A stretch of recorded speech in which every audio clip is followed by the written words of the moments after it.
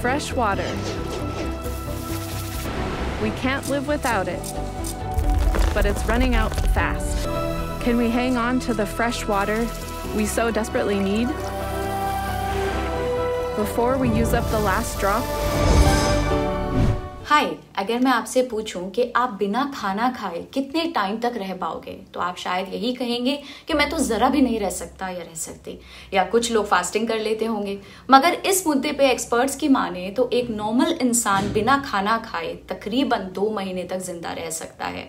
पर क्या आपने कभी सोचा है कि आप पानी के बिना कितने समय तक सर्वाइव कर सकते हैं? खैर एक्सपर्ट्स की माने तो ये कहा जाता है कि आदमी बिना पानी के तीन दिन तक रह सकता है। लेकिन अगर हमें एक दिन भी पानी ना मिले तो हम सभी जानते हैं कि हमारी क्या हालत हो जाएगी।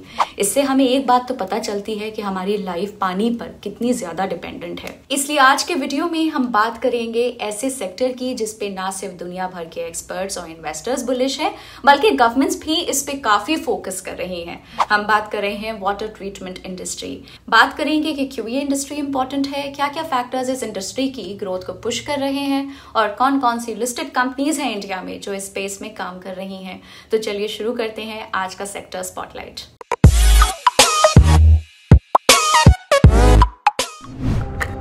We've polluted it with toxins from industry and runoff from agriculture.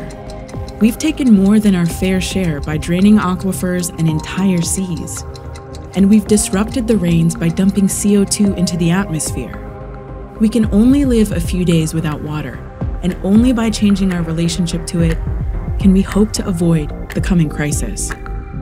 हम सभी ने स्कूल कॉलेजेस में पढ़ा है कि दुनिया में जितना भी पानी है, उसमें से सिर्फ़ थ्री परसेंट वाटर ही हम ड्रिंकिंग और बाकी एक्टिविटीज़ के लिए यूज़ कर सकते हैं। और इसमें से भी 2.5 परसेंट फ्रेश वाटर तो अनअवेलेबल है, क्योंकि वो ग्लेशियर्स या आइस कैप्स जैसे फॉर्म्स में है। इसका अगर हम आसान भाषा में एग्ज़ाम्पल लें तो अगर पूरी दुनिया में हंड्रेड लीटर्स पानी अवेलेबल है तो उसमें से वो फ्रेश वाटर जो हमारे यूज़ करने के लिए अवेलेबल है, वो तो केवल आधे चम्मच के बराबर है। यानी कि लिटरली वाटर वाटर एक अनलिमिटेड रिसोर्स है, लेकिन ह्यूमन यूज़ के लिए वो काफ़ी लिमिटेड है और वाटर की इंपॉर्टेंस सभी कंट्रीज़ समझती हैं। इसलिए कई लोग तो ये तक बोलते हैं कि अगला वर्ल्ड वॉर शायद वाटर के ऊपर हो सकता है और ये बात अलग अलग एक्सपर्ट्स कई सालों से बोल रहे हैं। वाटर की इतनी ज़्यादा इंपॉर्टेंस पता होने के बावजूद आज वाटर वेस्टेज दुनिया भर में एक चिंता का विषय है। ऊपर से अधिकतर फ्रेश वाटर तो ड्रिंकिंग से ज़्यादा घरों के डे टू डे पर्पसेस के लिए यूज़ होता है, जैसे कि घर की सफ़ाई, कपड़े, बर्तन धोना कुकिंग बेदिंग एटसेट्रा और इसके अलावा जो थोड़ा बहुत पोर्शन बच जाता है, वो हम एक्चुअली में कंज्यूम करते हैं। वाटर लीकेजेस अननेसेसरी वाटर का यूजेज और वाटर पोल्यूशन के चलते हर रोज न जाने कितना लीटर पानी वेस्ट हो रहा है और ड्रेनेजेस में जा रहा है। हमारा देश दुनिया की फास्टेस्ट ग्रोइंग इकोनॉमीज में से एक है। लेकिन इसी ग्रोथ के साथ साथ हमारे रिवर्स और पॉन्स का पानी या तो सूखता जा रहा है या फिर पोल्यूटेड हो रहा है। इसलिए ग्राउंड वाटर पे हमारी डिपेंडेंसी और भी ज़्यादा बढ़ती जा रही है। देखा जाए तो हम शुरुआत से ही ग्राउंड वाटर पे काफ़ी ज़्यादा डिपेंडेंट रहे हैं। इंडिया दुनिया का लार्जेस्ट ग्राउंड वाटर यूज़र है। इतना ज़्यादा कि हम यूएस और चाइना के कंबाइंड यूजेज से भी ज़्यादा ग्राउंड वाटर यूज़ करते हैं। 2018 में NITI आयोग के एक रिपोर्ट के हिसाब से 2030 तक इंडिया की वाटर डिमांड अवेलेबल सप्लाई से दो गुना हो जाएगी। इससे करोड़ों लोगों को वाटर स्कैसिटी फेस करनी पड़ेगी और साथ ही साथ देश की जीडीपी में सिक्स परसेंट तक का लॉस हो सकता है। इंक्रीजिंग पॉपुलेशन इंडस्ट्रियलाइजेशन और क्लाइमेट चेंज दूसरे कुछ ऐसे थ्रेट्स हैं जो हमारी इस बढ़ती वाटर स्कैसिटी की प्रॉब्लम को और भी ज़्यादा एक्सेलरेट कर रहे हैं। आपको जान के हैरानी होगी कि इंडिया में पानी के टोटल यूजेज में हाउस होल्ड यूजेज का शेयर तो सिर्फ़ फाइव परसेंट ही है। जी हाँ टोटल वाटर यूजेज का मेजोरिटी चंक यानी कि 83 परसेंट तो सिर्फ़ एग्रीकल्चरल सेक्टर में यूटिलाइज होता है और बाकी का 12 परसेंट इंडस्ट्रीज़ में जाता है। अब आप सोचेंगे कि अब इंडिया जैसी एग्री बेस्ड इकोनॉमी जहाँ एग्रीकल्चर हमारे देश की जीडीपी में अराउंड 17 परसेंट कॉन्ट्रीब्यूट करता है तो पानी का यूजेज तो होना ही है। और इसे अब आखिर कम भी कैसे किया जाए? बात कुछ हद तक सही है, लेकिन कई बार ऐसा रिपोर्ट किया गया है कि फार्मर्स को फ्री इलेक्ट्रिसिटी मिलने की वजह से वो कई बार पूरी रात अपने पानी के बोरवेल को चालू रखते हैं। इससे एनर्जी और वाटर दोनों का वेस्टेज होता है। लेकिन इस बारे में हम कभी और बात करेंगे, अभी के लिए आगे बढ़ते हैं। इंडस्ट्रियल यूजेज की बात करें तो paper industry textile industry steel industry automobile sugar fertilisers आप सिर्फ़ नाम बताओ, आखिर कौन सी इंडस्ट्री में पानी का यूजेज नहीं होगा? इंडस्ट्रीज़ के केस में यूजेज के बाद जो वेस्ट निकलता है उसका डिस्पोजल दुनिया के लिए एक गंभीर समस्या बनती जा रही है। आज गवर्नमेंट की इतनी गाइडलाइंस और रेगुलेशंस होने के बावजूद कई सारी इंडस्ट्रीज़ अपने waste water chemicals industrial waste को फ्रेश वाटर सोर्सेज में बिना किसी ट्रीटमेंट के डिस्पोज कर देते हैं। सीपीसीबी यानी कि सेंट्रल पोल्यूशन कंट्रोल बोर्ड की एक रिपोर्ट के हिसाब से India seventy million litres per day यानी कि एमएलडी ऑफ़ सीवेज प्रोड्यूस करता है। लेकिन इसमें से सिर्फ़ 20,236 एमएलडी ही ट्रीट किया जाता है। एज ऑफ़ सितंबर 2021 हमारी स्विच ट्रीटमेंट की installed capacity total sewage generated का सिर्फ़ वन थर्ड ही ट्रीट कर सकती है। और इतने बड़े गैप के साथ ही आती है एक बड़ी बिज़नेस अपॉर्चुनिटी जरा सोचिए, आने वाले समय में बढ़ने वाली फ्रेश यूजेबल वाटर की डिमांड और सप्लाई में बढ़ता हुआ गैप स्विच ट्रीटमेंट और वाटर ट्रीटमेंट इंडस्ट्री की इंपॉर्टेंस को कितनी तेज़ी से राइज देने वाला है। एरिस्टॉन के मार्केट रिसर्च के हिसाब से इंडिया में वेस्ट वाटर ट्रीटमेंट प्लांट की मार्केट 2021 से लेकर 2027 के बीच में 6.91 परसेंट के सीएजीआर से ग्रो हो सकती है जबकि उसी टाइम में ग्लोबल मार्केट 6.12 परसेंट के एक्सपेक्टेड सीएजीआर से ग्रो होगी Can we just talk about water briefly because you also think this is one of the big investable ideas for the next 10 years? We're already seeing a huge discrepancy between demand and supply of water and the fact that populations are going to get bigger in emerging markets I think is going to widen that gap a lot. So we think those companies that are going to alleviate water scarcity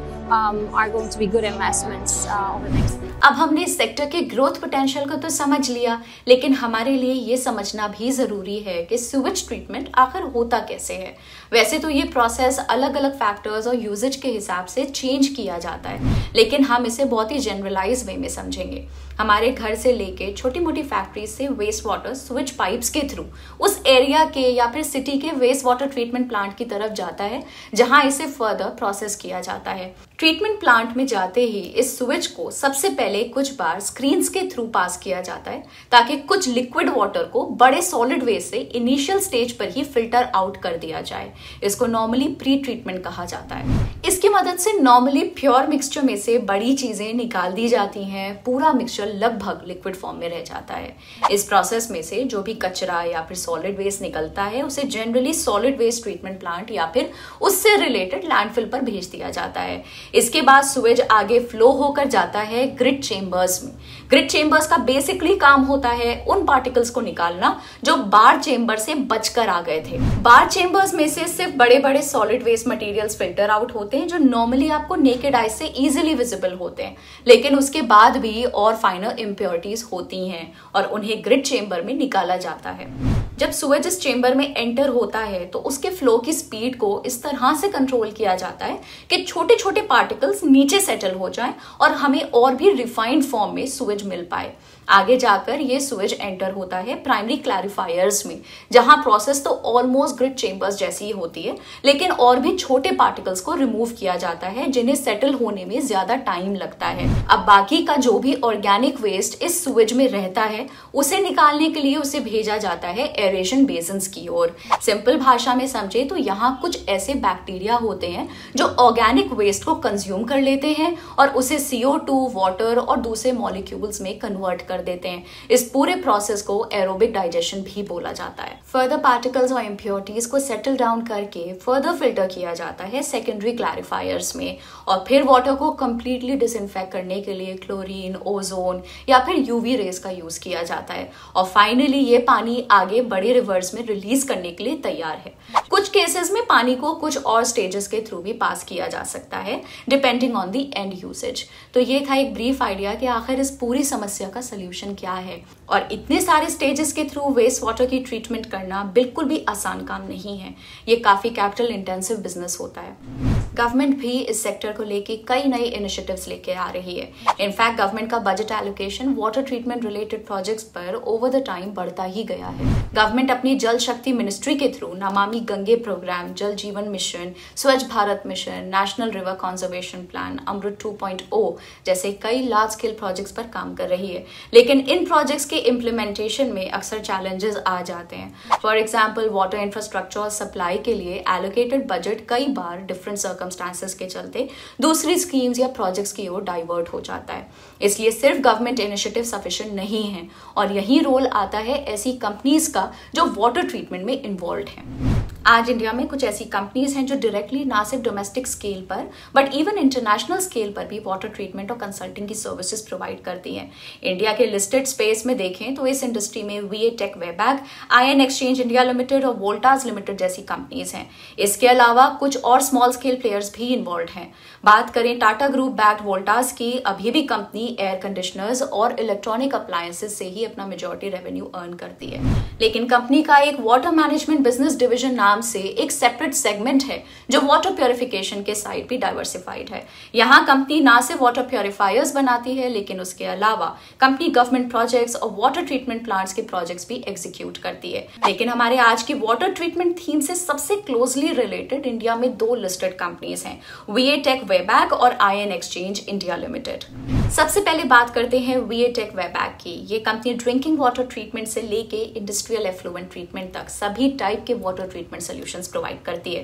company की presence ना सिर्फ़ India में है, बल्कि 25 plus countries में है with over 1400 plants in fact अगर आप कंपनी के रेवेन्यू देखेंगे तो उसमें अराउंड 46 परसेंट रेवेन्यू दूसरी कंट्रीज़ से जनरेट होता है। इसके अलावा कंपनी का majority of work industrial segment से आता है। अपने वास्ट एक्सपीरियंस और स्केल के through way back water treatment में एक लीडिंग प्लेयर की तरह उभरता हुआ नज़र आ रहा है। इंटरेस्टिंगली अगर आप कंपनी का शेयर होल्डिंग पैटर्न देखें तो इसमें इंडिया के ace investors Rekha and Rakesh Jhunjhunwala की फर्म भी एक सिग्निफिकेंट स्टेक होल्ड करती है। ये शो करता है बड़े बड़े इन्वेस्टर्स भी इस इंडस्ट्री की ग्रोथ पे बुलिश हैं। लेकिन कंपनी के रेवेन्यूज 2018 के बाद से डिक्लाइन हो रहे थे। हालाँकि लास्ट टू ईयर्स में वेबैग ने फिर से रिकवरी शो की है। सिमिलर ट्रेंड कंपनी के नेट प्रॉफिट्स में भी देखने को मिल रहा है। अगर कंपनी के स्टॉक प्राइस की बात करें तो कंपनी ने पिछले एक साल में भले ही नेगेटिव रिटर्न दिए हैं, लेकिन पिछले तीन साल में कंपनी ने ऑलमोस्ट फोर्टी परसेंट रिटर्न दिए हैं। अब बात करते हैं नेक्स्ट कंपनी की, जो कि है ion exchange India limited इस कंपनी का बिज़नेस मेनली तीन सेगमेंट्स में डिवाइडेड है इंजीनियरिंग केमिकल्स और कंज्यूमर प्रोडक्ट्स कंपनी अपने इंजीनियरिंग सेगमेंट के अंदर मीडियम और लार्ज साइज़ वाटर और एफ्लोएंट ट्रीटमेंट प्लांट्स को प्लान और एग्जीक्यूट करती है। ये सेगमेंट कंपनी के रेवेन्यूज में 58 परसेंट का कॉन्ट्रीब्यूशन करता है। केमिकल सेगमेंट में कंपनी मेनली रेजन्स की मैन्युफैक्चरिंग करती है, जो वाटर ट्रीटमेंट में यूज़ होते हैं। ये रेजन्स कंपनी ना सिर्फ़ इंडिया में सेल करती है, लेकिन यूएस मिडिल ईस्ट यूरोप और साउथ ईस्ट एशियन कंट्रीज़ में भी एक्सपोर्ट करती है। ये सेगमेंट कंपनी के रेवेन्यूज में 34 परसेंट का कॉन्ट्रीब्यूशन करता है।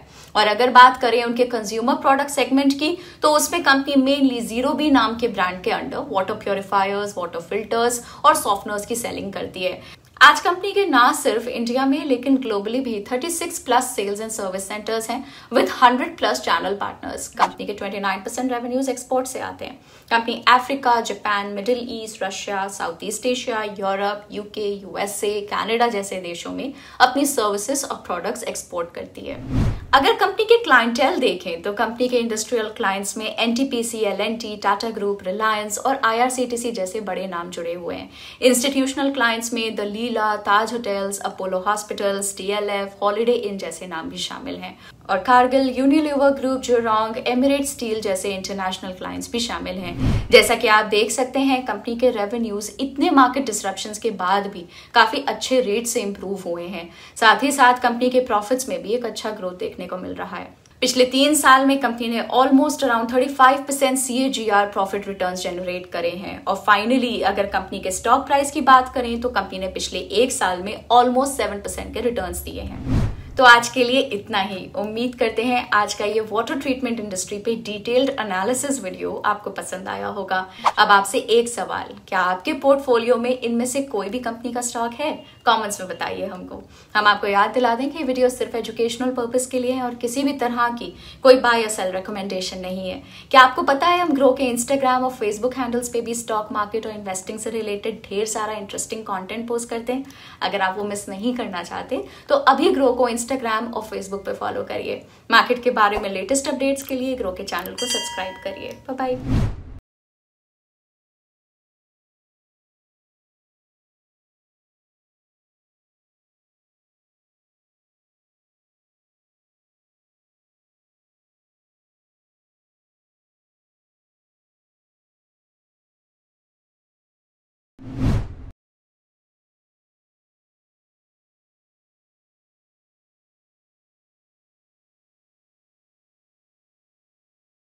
Investment in securities market are subject to market risks. Read all the related documents carefully before investing. Please read the risk disclosure documents carefully before investing in equity shares, derivatives, mutual fund, and or other instruments traded on the stock exchanges.